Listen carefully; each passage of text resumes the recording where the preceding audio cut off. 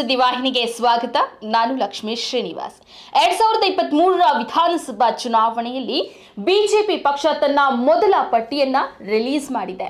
ಆ ಮೊದಲ ಪಟ್ಟಿಯಲ್ಲಿ ಯಾವ್ಯಾವ ಕ್ಷೇತ್ರಗಳಲ್ಲಿ ಯಾರ್ಯಾರ ಅಭ್ಯರ್ಥಿ ಆಗ್ತಾರೆ ಬಿಜೆಪಿ ಪರ, ಮತ್ತೆ ಬಿಜೆಪಿ ಪರ ಒಂದು ಅಭ್ಯರ್ಥಿ ಘೋಷಣೆ ಆದ್ಮೇಲೆ ಅವರು ಕಣಕ್ಕಿಳಿದು ಒಂದು ಬಿರುಸಿನ ಪ್ರಚಾರ ಮಾಡಿ ಒಂದು ಬಿಜೆಪಿ ಪಕ್ಷವನ್ನ ಗೆಲ್ಲಿಸಬೇಕು ಅಂತ ಒಂದು ಅಭ್ಯರ್ಥಿಗಳಿಗೆ ಒಂದು ಬಿಜೆಪಿ ಪಕ್ಷ ಒಂದು ಅಭ್ಯರ್ಥಿಯನ್ನ ತಮ್ಮ ಪಟ್ಟಿಯಲ್ಲಿ ರಿಲೀಸ್ ಮಾಡಿದೆ. ಅವರ ಒಂದು ಮಾನದಂಡ ಏನಿದೆ ಅಂದರೆ ಆ ಒಂದು ಹೊಸಬ್ರಿಗೆ ಮಣೆ ಹಾಕಬೇಕು, ಹೊಸಬ್ರನ್ನ ಒಂದು ಪರಿಚಯ ಮಾಡಿಸ್ಬೇಕು ಕ್ಷೇತ್ರಕ್ಕೆ. ಹೊಸಬ್ರು ಏನೇನು ಕೆಲಸ ಮಾಡಿದ್ದಾರೆ, ಒಳ್ಳೆ ಒಳ್ಳೆ ಕೆಲಸ ಮಾಡಿರೋರಿಗೆ ಅಭ್ಯರ್ಥಿಯನ್ನು ಘೋಷಣೆ ಮಾಡಿದ್ದಾರೆ. ಈಗಾಗಲೇ ಬಿ ಜೆ ಪಿ ಪಕ್ಷದಿಂದ ಶಾಸಕರಾಗಿರೋರ್ನು ಬಿಟ್ಟು ಬೇರೆಯವ್ರಿಗೆ ಹೊಸಬ್ರಿಗೆ ಒಂದು ಮಣೆ ಹಾಕಿದ್ದಾರೆ. ಇದರ ಒಂದು ನಿಲುವು ನೋಡೋದಾದರೆ ಹೊಸಬ್ರಿಗೆ ಒಂದು ಆದ್ಯತೆ ಕೊಡ್ತಿದೆ ಪಿ ಅಂತ ಹೇಳ್ಬೋದು.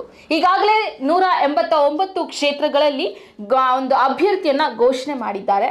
ಇದೆಲ್ಲದ ಪೈಕಿ ನೋಡೋದಾದ್ರೆ ಕೋಲಾರ ಕ್ಷೇತ್ರದಲ್ಲಿ ಯಾರ್ಯಾರೆಲ್ಲ ಅಭ್ಯರ್ಥಿ ಆಗಿದ್ದಾರೆ, ಯಾರ್ಯಾರಿಗೆ ಒಂದು, ಆ ಒಂದು ಅಭ್ಯರ್ಥಿ ಘೋಷಣೆ ಒಂದು ಆಗದಿರೋ ಒಂದು ಅಸಮಾಧಾನ ಆಗಿದೆ ಅಂತ ನೋಡೋದಾದ್ರೆ ಕೋಲಾರ ಜಿಲ್ಲೆಯಲ್ಲಿ ಐದು ಕ್ಷೇತ್ರದಲ್ಲಿ ಬಿಜೆಪಿ ಟಿಕೆಟ್ ಯಾರ್ಯಾರಿಗೆ ಅಂತ ಕನ್ಫರ್ಮ್ ಆಗಿದೆ.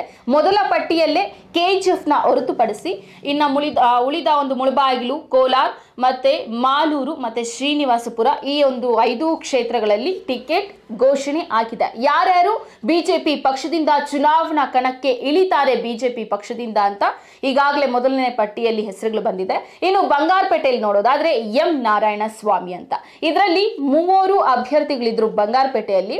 ಒಬ್ರು ಬಂದು ಶೇಷು, ಇನ್ನೊಬ್ರು ಬಂದು ಮಹೇಶ್ ಮತ್ತು ಇನ್ನೊಬ್ರು ಬಂದು ಎಂ ನಾರಾಯಣ ಸ್ವಾಮಿ ಅಂತ. ಈ ಮೂವರಲ್ಲೂ ಟಿಕೆಟ್ ಬಂದು ಬಿಜೆಪಿ ಪಕ್ಷದಿಂದ ಎಂ ನಾರಾಯಣ ಸ್ವಾಮಿ ಅವರಿಗೆ ಕೊಟ್ಟಿದೆ. ಹಿರಿಯ, ಹಿರಿಯರು ಅಂತ ಕೊಟ್ಟರು ಇಲ್ಲಾಂದ್ರೆ ಅವ್ರು ಕೆಲಸ ಮಾಡಿದ್ದಾರೆ ಅಂತ ಕೊಟ್ಟರು ಗೊತ್ತಿಲ್ಲ. ಅವರ ಒಂದು ಮಾನದಂಡ, ಅವರು ಒಂದು ಸರ್ವೆ ಪ್ರಕಾರ ಎಂ ನಾರಾಯಣ ಸ್ವಾಮಿ ಅವರು ಕೊಟ್ಟರೆ ಬಿ ಜೆ ಪಿ ಪಕ್ಷನ ಬಂಗಾರಪೇಟೆಯಲ್ಲಿ ಗೆಲ್ಲಿಸ್ಬೋದು ಅಂತ ಒಂದು ಮಾನದಂಡ ಮೇಲೆ ಕೊಟ್ಟು, ಕೊಟ್ಟಿರಬಹುದು ಅಂತ ಅನಿಸುತ್ತೆ. ಇನ್ನು ಮಾಲೂರನ್ನ ನೋಡೋದಾದರೆ, ಈ ಮಾಲೂರಲ್ಲಿ ತುಂಬ ಒಂದು, ತುಂಬ ವಿಷಯಗಳಿತ್ತು. ಒಬ್ಬರು ಇವ್ರು ಗೆಲ್ತಾರೆ, ಅವ್ರು ಗೆಲ್ತಾರೆ. ಅಂದರೆ ತುಂಬ ಒಂದು ಪಕ್ಷದ ಒಂದು ಕಾರ್ಯಕರ್ತರ ಸಭೆಗಳಾಗಿರ್ಬೋದು, ಸಭೆಗಳು, ಸಮಾರಂಭಗಳು, ಇವೆಲ್ಲ ನೋಡೋದಾದ್ರೆ ಯಾರಿಗೆ ಟಿಕೆಟ್ ಕೊಡೋದು, ಯಾರಿಗೆ ಟಿಕೆಟ್ ಕೊಟ್ಟರೆ ಯಾರು ಗೆಲ್ಲಿಸ್ಕೊಳ್ತಾರೆ ತುಂಬ ಕೆಲಸ ಮಾಡಿದ್ದಾರೆ ಹೂಡಿ ವಿಜಯ್ ಅವರು, ಮಂಜುನಾಥ್ ಅವರು ಮಾಡಿದ್ದಾರೆ ಅಂತ ಹೇಳ್ತಿದ್ರು. ಬಟ್ ಸರ್ವೆ ಮಾಡಿದಾಗ ಯಾರಿಗೆ ಒಂದು ಟಿಕೆಟ್ ಕೊಟ್ಟರೆ ಯಾರು ಗೆಲ್ತಾರೆ ಅನ್ನೋ ಒಂದು ಮಾನದಂಡ ಮೇಲೆ ಬಿ ಜೆ ಪಿಯವರು ಮಂಜುನಾಥ್ ಗೌಡ ಅವರಿಗೆ ಒಂದು ಟಿಕೆಟ್ ಕೊಟ್ಟಿದ್ದಾರೆ. ಮಾಲೂರು ಕ್ಷೇತ್ರದಿಂದ ಬಿ ಜೆ ಪಿ ಒಂದು ಪಕ್ಷದಿಂದ ಚುನಾವಣೆ ಕಣಕ್ಕೆ ಇಳಿಯೋರು ಮಂಜುನಾಥ್ ಗೌಡ ಅವರು. ಇದರಿಂದ ನಿರಾಸೆ ಆಗಿರೋದು ಹೂಡಿ ವಿಜಯ್ ಮತ್ತು ಹೂಡಿ ವಿಜಯ್ ಅವರ ಕಾ, ಒಂದು ಅಭಿಮಾನಿಗಳಿಗೆ ಮತ್ತು ಕಾರ್ಯಕರ್ತರಿಗೆ. ಬಿಜೆಪಿ ಕಾರ್ಯಕರ್ತರು ಆಲ್ಮೋಸ್ಟ್ ಎಲ್ಲರಿಗೂ ಒಂದ್ಸಲ ಅಸಮಾಧಾನ ಆಗಿರಬಹುದು. ಯಾಕಂದ್ರೆ ಹೂಡಿ ವಿಜಯ್ ಅವರು ಸತತ ಒಂದು ನಾಲ್ಕೈದು ವರ್ಷಗಳಿಂದ ಕೆಲಸ ಮಾಡ್ಕೊಂಡು ಬಂದಿದ್ದಾರೆ. ಕ್ಷೇತ್ರದಲ್ಲಿ ಕಷ್ಟ ಅಂದವ್ರಿಗೆ ಕಷ್ಟ ಒಂದು ಸ್ಪಂದಿಸಿದ್ದಾರೆ, ಆರ್ಥಿಕ ಸಹಾಯ ಮಾಡಿದ್ದಾರೆ. ಒಂದು ಹೆಣ್ಮಕ್ಳನ್ನ, ಹೆಣ್ಮಕ್ಳಿಗೆ ಏನಾದರೂ ಕಷ್ಟ ಅಂದಾಗ ಅವರಿಗೆ ಆರ್ಥಿಕ ಸಹಾಯ ಮಾಡಿರ್ಬೋದಾಗಿರ್ಬೋದು. ಒಂದು ಸಮುದಾಯ ಅಂತ ಯಾವುದು ನೋಡಿಲ್ಲ. ಎಲ್ಲ ಸಮುದಾಯದ ಒಂದು ನಿಟ್, ಒಂದು ಮೈಂಡಲ್ಲಿ ಇಟ್ಕೊಂಡು ಎಲ್ಲ ಸಮುದಾಯದಕ್ಕೂ ತಮ್ಮ ಒಂದು ಸಹಾಯ ಹಸ್ತನ ಚಾಚಿದ್ರು.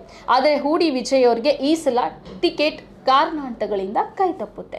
ಯಾಕೆ ಅಂತ ಗೊತ್ತಿಲ್ಲ. ಮೇ ಬಿ ಅವರು ಪಕ್ಷೇತರವಾಗಿ ನಾನು ನಿಂತ್ಕೊಳ್ತೀನಿ ಬಿ ಜೆ ಪಿ ಪಕ್ಷದಿಂದ ಟಿಕೆಟ್ ಕೊಡಲಿಲ್ಲ ಅಂತ ಅಂತ ಹೇಳ್ತಿದ್ರು. ಬಟ್ ಅವರು ಎಲ್ಲೂ ಸ್ಟೇಟ್ಮೆಂಟ್ ಕೊಟ್ಟಿಲ್ಲ. ಬಟ್ ಅವರ ಅಭಿಮಾನಿಗಳು ನಿಂತ್ಕೊಳ್ತಾರೆ. ನಿಲ್ಲಿಸಿ ನಾವು ಗೆಲ್ಲಿಸ್ತೀವಿ ಮಾಲೂರು ಕ್ಷೇತ್ರದಲ್ಲಿ ಹೂಡಿ ವಿಜಯ್ ಅವ್ರನ್ನ ನಿಲ್ಲಿಸಿ ನಾವು ಕ್ಷೇತ್ರದಲ್ಲಿ ಶಾಸಕರನ್ನಾಗಿ ಮಾಡಿಸ್ತೀವಿ ಅಂತ ಒಂದು ಗುಮಾನಿಗಳೆದ್ದಿದೆ. ಇದೆಲ್ಲ ಯಾವುದಕ್ಕೆ ಸತ್ಯ, ಯಾವುದು ಸುಳ್ಳು ಅಂತ ಗೊತ್ತಿಲ್ಲ.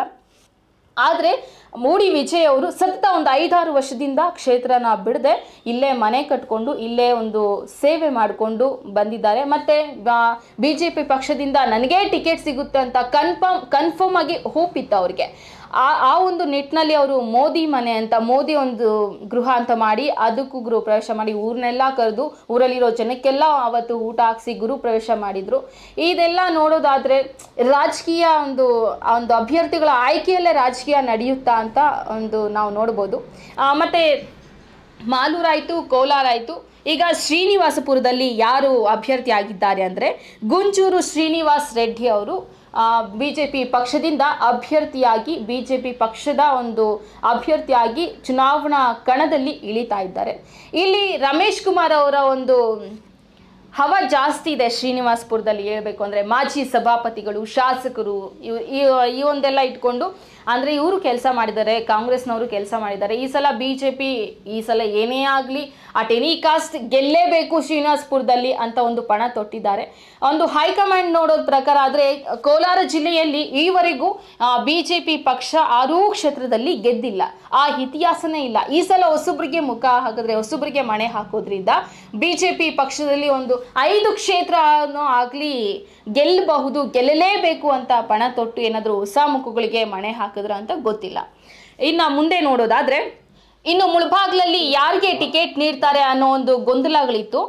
ಇದರಲ್ಲಿ ಮುಳಬಾಗ್ಲಲ್ಲಿ ಇಬ್ಬರು ಆಕಾಂಕ್ಷಿಗಳಿದ್ರು. ಒಬ್ರು ಶೀಗೆಹಳ್ಳಿ ಸುಂದರ್ ಅವರು, ಇವರು ದಿವಂಗತ ನಂಗ್ಲಿ ಮುನಿಸ್ವಾಮಿ ನಂಗ್ಲಿ ಮುನಿಸ್ವಾಮಿ. ಇನ್ನು ಮುಳು ಮುಳುಭಾಗ್ಲಲ್ಲಿ ಇಬ್ರು ಅಭ್ಯರ್ಥಿ ಆಕಾಂಕ್ಷಿಗಳಿದ್ರು. ಅವರು ದಿವಂಗತ ನಂಗ್ಲಿ ಮುನಿಯಪ್ಪ ಅವರ ಮೊಮ್ಮಗ ಶೀಗೆಯಲ್ಲಿ ಸುಂದರ್ ಅವರು ಒಬ್ಬರಾದ್ರೆ ಇನ್ನೊಬ್ರು ಬಂದು ಆಲಂಗೂರು ಗ್ರಾಮ ಪಂಚಾಯಿತಿಯ ಅಧ್ಯಕ್ಷೆ ಅವರು ಅವರಾಗಿದ್ರು. ಅವ್ರ ಹೆಸರು ಬಂದು ಶೋಭಾ ಶ್ರೀನಿವಾಸ್ ಅಂತ.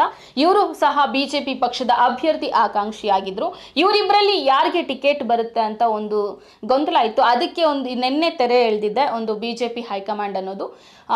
ಶೀಗೆಹಳ್ಳಿ ಸುಂದರ್ ಅವರಿಗೆ ತಮ್ಮ ಮೊದಲನೇ ಪಟ್ಟಿಯಲ್ಲಿ ಹೆಸರ ಹೇಳೋದ್ರಿಂದ ಒಂದು ಮುಳಬಾಗಿಲು ವಿಧಾನಸಭಾ ಕ್ಷೇತ್ರದಲ್ಲಿ ಬಿಜೆಪಿ ಪಕ್ಷದಿಂದ ಚುನಾವಣಾ ಕಣಕ್ಕೆ ಇಳಿತಾ ಇರೋದು ಶೀಗೆಹಳ್ಳಿ ಸುಂದರ್ ಅನ್ನೋದು ಕನ್ಫರ್ಮ್ ಆಗಿದೆ.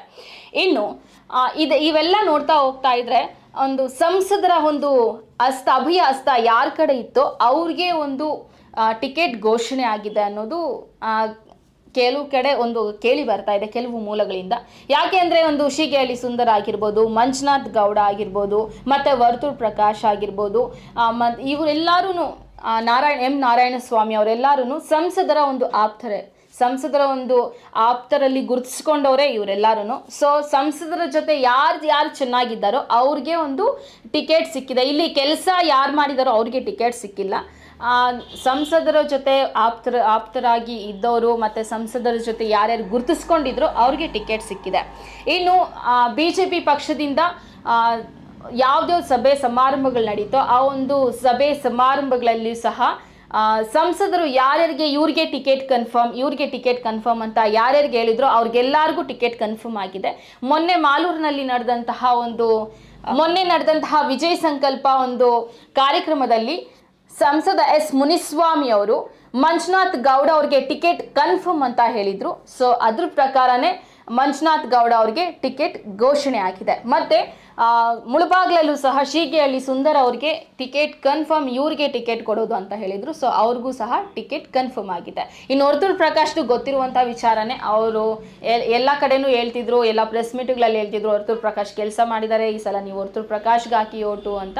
ಸೊ, ಅವರು ಅವರು ಹೇಳ್ದಂಗೆ ಅವ್ರಿಗೆ ಟಿಕೆಟ್ ಆಗಿದೆ. ಸೊ, ಇದೆಲ್ಲ ನೋಡ್ತಾ ಇದ್ರೆ ಸಂಸದರ ಒಂದು ನಿಲುವು ಏನಿದೆಯೋ ಆ ಕಡೆ B J P high command ಅಸ್ತ ಚಾಚಿದೆ ಅಂತ ಹೇಳ್ಬೋದು. ಸಂಸದರ ಒಂದು ಯಾರ್ಯಾರು ಗೆಲ್ಲಬೇಕು, ಯಾರ್ಯಾರು ನಿಲ್ಲಬೇಕು ಅಂತ ಅವರು ಡಿಸೈಡ್ ಮಾಡಿದ್ಮೇಲೆ ಟಿಕೆಟ್ ಘೋಷಣೆ ಆಗಿದೆ ಅಂತ ಹೇಳ್ಬೋದು. ಇನ್ನು